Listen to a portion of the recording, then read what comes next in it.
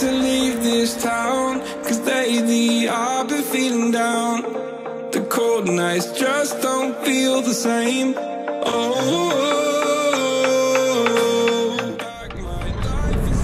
Cześć siemaneczko, witajcie z tej strony Mogę Solec i witam was dzisiaj nie w Giermokrzy, ale witam was u Krzysia. Ze mną Tanasisko jest. Witam, witam serdecznie, dzień dobry. Takich vlogów bardzo mało na kanale, gdzie możemy coś z Tanasiskiem sobie nagrać. E, jesteśmy u Krzysia, jak widzicie jest Kejsior 90JX oraz mamy kosiareczkę Samasza, czyli sianokosy. Akcja, która zawsze wypala nam po targach Open Farm u Krzysia. E, tu fajnie teraz do przecięcia się. Pytacie pewno czemu taki dojazd na środku łąki, a z racji tego, że Krzysiu za tą łączką ma jeszcze kawałek pola, gdzie posiał sobie kukurydzę. Eee, a wiecie, na stałe taka droga jest niepotrzebna, akurat tutaj małe ścieżki się zrobiły, ale sobie ładnie tym przejedziemy, nie gniotąc trawki. Objechałem sobie kilka razy dookoła, to jest druga łąka, tam już nagrałem vloga, ale postanowiłem, że nagram sobie go tu jeszcze raz, bo tu jest o wiele ładniejsza trawa i fajniejsze pole do jeżdżenia. Także tak jak już wspominałem, wróciliśmy sobie z targu Open Farm. Targi trzecia edycja wypaliła chyba tak samo dobrze, jak nie wspaniale, jak wszystkie poprzednie dwie. Lubimy te targi, bo możemy się spotkać całą ekipą, jak sami widzicie. No prawie całą, niestety no w tym roku nie udało się Kazikowi ani Kaskiemu wbić nawet chociaż na chwilkę. O, jest Bociak, czyli jak zawsze maskotka polskich sianokosów. Musiałem sobie odebrać pilnie telefonik, ale już wracamy. Nie lubię ścinania, bo łatwiej się później klei. Jak jest bez, tutaj sobie pojedziemy na razie lewą stronę, wytniemy całą. Troszeczkę jest to potratowane przez dziki. O, Bociek uważaj. Tutaj ten klin sobie jakoś będę chciał pewnie wyciąć. Na razie póki co kilka przejazdów będziemy sobie podnosić, później jak będzie bliżej to już nie musimy. Powiem wam fajne sianokosy przypominają mi się stare czasy jak to u mnie było, gdy byłem jeszcze no młodziutki, że tak powiem. Było kupę lat do tyłu. Choć kanał jeszcze pamiętam. Główny kanał Mawisolec, gdzie te sianokosy u mnie były. No ale teraz jakby nie patrzeć, no troszeczkę się pozmieniało. W takim kejsiku no fajnie robota idzie. Chłopaki pojechali sobie do sklepu, po gorąco, trzeci, trzeci dzionek dzisiaj, no powiem wam, parzy, parzy naprawdę. Przyjechali? Co? A, tam się wieje. A, no tutaj niestety no krzyku nie ma klimy, ale ważne, że są nawiewy. Choć powiem wam, ta klima czasami jest dobrze, czasami nie, a później łeb mi chce pęknąć. Jak sobie troszkę nawet i w samochodzie na tej klimie pojeżdżę, więc mrozie. jo, a tutaj człowiek przynajmniej ważne, żeby coś tam lekki wiaterek był. Trawa tutaj naprawdę ładna. Troszeczkę tam właśnie przed chwilą jak widzieliście dziki poryły w tym przejeździe pod, pod samym końcem.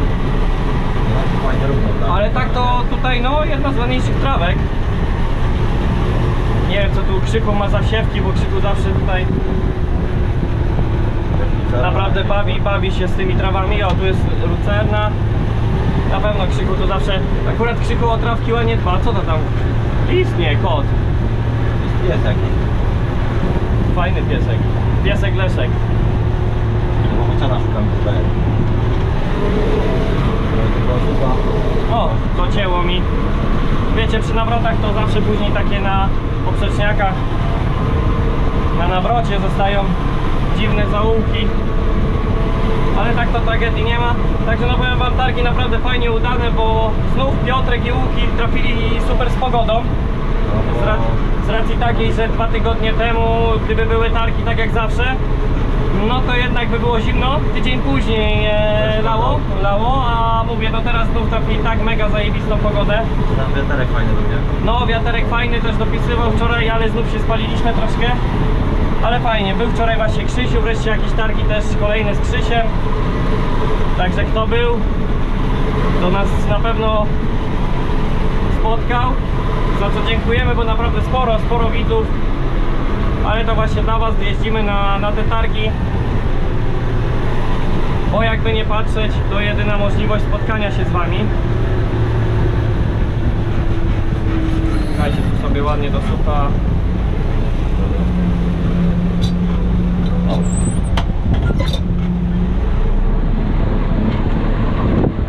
Skupić też trochę. że- No, jakby nie było, czasami trzeba się skupić, tym bardziej, że się na co dzień na tym nie pracuje. E, Ja sobie tu na razie opuszczę, później się odwrócę. No przekichane trochę w tej kabinie jest tu z tym, Czas. z siedzeniem, jakby nie patrzeć, bo Ja na siódemku nie siedzę. no jakby nie patrzeć, tam jest tylko taki plastik, gdzie też tu ciasno w kabinie, bo i rewers. Kierownictwo na podłogę. O, to akurat jest mechaniczne, ale powiem wam, ja się cieszę, bo przyzwyczajony do, do Ursusa, jakby nie patrzeć.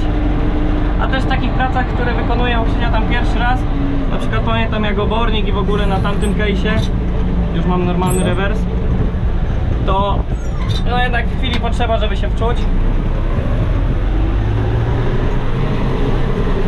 I to sobie ładnie później wróci. obrócimy i zepniemy.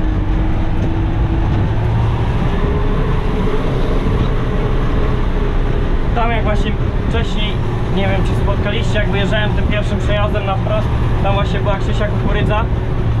Nie ukrywamy, no kukurydza teraz zruszyła, bo będąc tu 3 dni temu przed wyjazdem na targi, mm, to powiem wam jak to się mówi, kukurydza urosła w oczach, po trzech dniach wracamy e, i naprawdę jest spora, spora różnica, ale to z racji tego, że no było tego deszczu troszeczkę. No i teraz naprawdę ciepło, to już jest drugi, trzeci dzień z rzędu, gdzie temperatura jest powyżej 25, dzisiaj mamy 30 już. Ta ziemia jest e, nagrzana. Jest naprawdę bardzo duża różnica, o, chłopaki jadą. Jest naprawdę bardzo duża różnica e, pomiędzy kukurydzą tutaj mazowieckim, oj, e, a no nie, nie tu w takiej wysokiej trawie ciężko widzieć. E, I jest naprawdę duża różnica pomiędzy u nas tu mazowieckim, a tam w Bytowie, Zachodnio Pomorskim. I przynajmniej tak półtora tygodnia ona będzie gdzieś dopiero tak wysoka jak, jak tutaj. Od początku, gdy jest zasiana, spadło już 80 litrów na nią. Także no to jest tak dosyć dobrze można powiedzieć. No ale jak sami wiemy, kukurydza naprawdę potrzebuje dosyć sporo wody. Tutaj nam się taki zakręt właśnie robi, o którym wcześniej wspominałem. Akurat do, do sianokosów ten sprzęcior naprawdę spoko.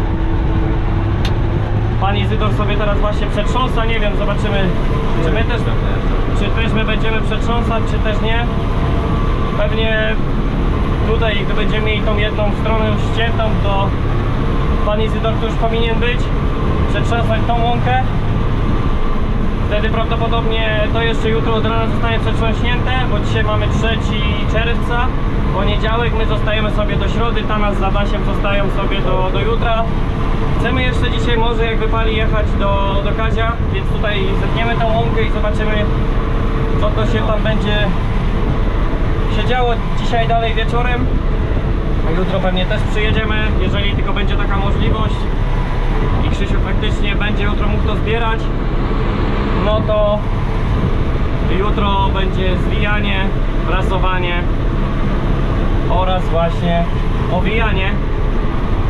I wtedy Brączek dzisiaj też nagrywa sobie już film. Pod muzykę. Pod muzykę tak, wymieniliśmy się, bo ja na targach nagrywałem właśnie, co jest a propos targów, wreszcie nagrałem sobie film z targów, także browarek zimny.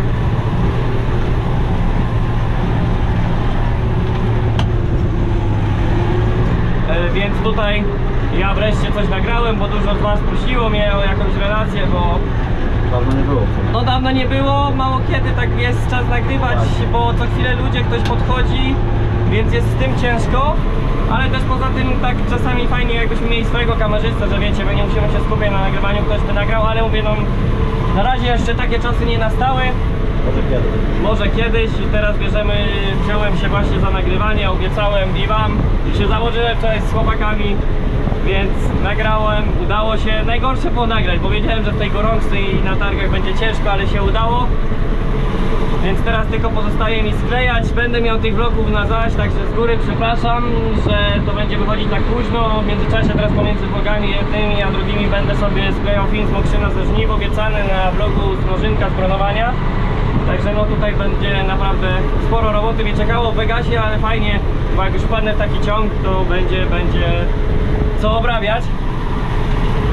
Więc tutaj, no mówię, te, te vlogi pewnie będą z czasem wychodzić. Materiał fajny, bo wiecie, nie chciałem nagrywać takich typowych pokazów yy, maszyn i w ogóle gdzieś tam przelotnie się złapałem. Yy, generalnie mówię, nagrywałem jako Na spontanie po prostu. Jo, na spontanie jako to ekipa MST podbija targi. O, bo czasami lubię sobie zamielić. Więc dał napędzik, tutaj sobie cofnę i zetnę to, bo coraz większy ten zakręt się robi.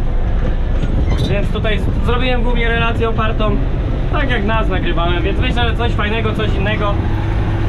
Tutaj z góry bardzo serdecznie pozdrawiam właśnie Robcia i Białego, którzy no przyjechali kawał drogi na te targi, żeby spędzić je właśnie z nami. Bo jakby nie patrzeć 600 km no drogą nie leży. Pozdrawiamy też Chestera, który właśnie specjalnie też przyjechał spotkać się z nami z Krzysiem. E, Około 500, 500 no ponad 500 km właśnie, także no kawał, kawał drogi. Późno w noc sobie dojechali, ale to się ceni. I mówię, no tutaj teraz nic, tylko, tylko posklejać. No i z racji, że ja wczoraj nagrywałem dzisiaj, to właśnie chciałem trochę Krzysia odciążyć. Też sobie pojeździć, bo już Krzysiu trochę tych łąk się nakosił. Bo Krzysiu w tym sezonie robił tak, że wiecie, ściął jedną, dwie łąki, zależy jakiej była wielkości i sobie ogarnął ją, zebrał i dopiero brał się za kolejne, bo wiecie, ta pogoda w kratkę nie idzie tego wszystkiego ułożyć, jakby to pościnał, no to wiecie sami jakby to później mogło wyglądać. Na pewno przy takich pogodach no ciężko by było wszystko ogarnąć na raz, a jednak strasznie szybko by schło, skoro chcemy jutro to zbierać. Także tutaj akurat dobre rozwiązanie, ja się na jakieś łąki złapałem.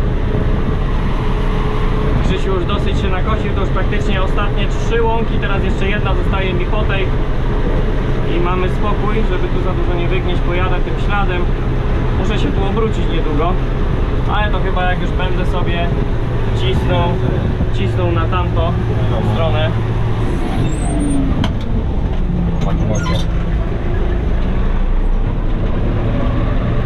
Już praktycznie tu zaraz będę miał wykoszone. Mało dobre roboty robi. No, tu naprawdę Krzysiu nie narzeka na kosiareczkę. No ale też dba, to nie ma co się narzekać. Jeżeli się dba, to się ma, jak to się mówi. I tutaj praktycznie no jednak ona troszkę tych hektarów w sezonie robi, bo powiedzmy, żeby było z 20 hektarów łąk, te 4 pokosy, no to macie macie sami ile ta kosiareczka musi zrobić. Nie jest to dużo, ale też nie jest i mało. Jakby nie patrzeć. Akurat u Krzysia fajnie, bo ma tych prac podzielonych.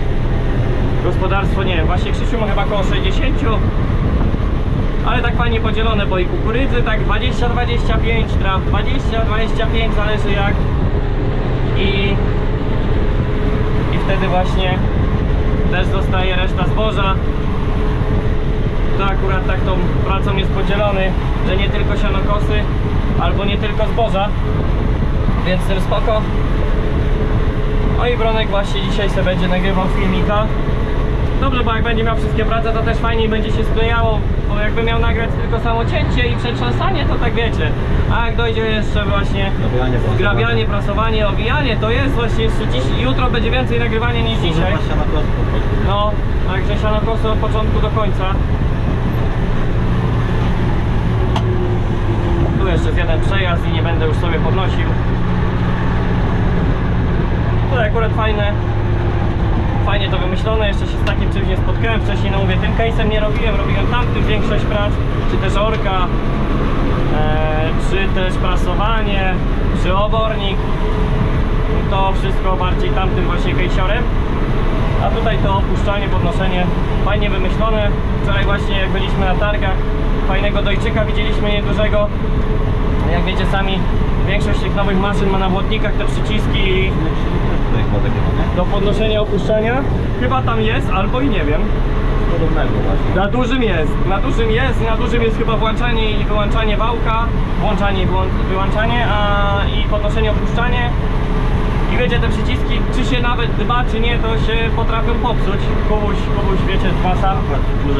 No dokładnie to jednak jest, a taki wiecie, mechaniczny, całkiem inaczej i fajnie rozwiązane mieli to w Deutschu takim malutkim, że takie zapadki były i sobie można było ustalać na jakąś dokładnie tryb był.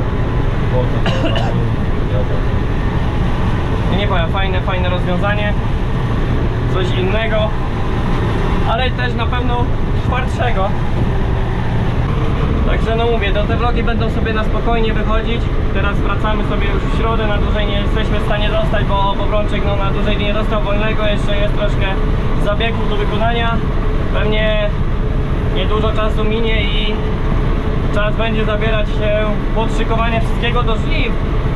Bo jakby nie patrzeć, no to głosi się wszystko, pogody dopisują, a też trochę tego przygotowania będzie nam zajmowało czasu. No troszkę kombajnów jest. Ciągniki jeszcze też trzeba troszeczkę odszykować. Też żeby później na pożniwach od razu można było ruszać z uprawą. Bo jednak trochę hektarów jest, jak sami wiecie. Ale ja się mega cieszę, że jest to taki krótki wyjazd do mnie i tak wiele uda nam się tutaj ogarnąć, bo i spotkać i też y, ponagrywać. Jeszcze jakiego vloga będę chciał dla Was nagrać na pewno z oprowadzania pól, może właśnie u Krzysia. Myśleliśmy coś na, na temat e, tych poletek pokazowych kukurydzy, bo poprosiliście w komentarzach. I zobaczymy, może uda nam się Tomka z Majsadura ogarnąć, żeby troszeczkę opowiedział nam o tych poletkach, co my tam mamy, ciekawego, co, jakie nowości są w tym roku. A jak nie, no to zrobimy na razie tylko zboża i też połączę to vlogiem od siebie, właśnie z pokazem u mnie, jak to wygląda, bo też się zastanawiacie, ja też jeszcze na razie tylko z daleka, bo tak cały czas w rozjazdach, szybko, szybko dzisiaj wstaliśmy i do Krzysia, więc dzisiaj wieczorkiem sobie na spokojnie podejdziemy zobaczyć co i jak to właśnie ta mieszaneczka u mnie wygląda i u rodziców. Więc jeszcze tu na pewno jakiś vlog się pojawi Nic tylko sklejać, ale teraz dobrze, bo taki będę miał przestój na kanale Jakby nie patrzeć No bo teraz już koniec roboty w Mokrzynie Jeszcze będę chciał się gdzieś tam załapać, wiadomo, z brączkiem Na opryski Bo to też fajny filmik, myślę, że udałoby mi się nagrać Tak jak i tutaj właśnie u Krzysia Jak przyjechaliśmy sobie Pierwszego dnia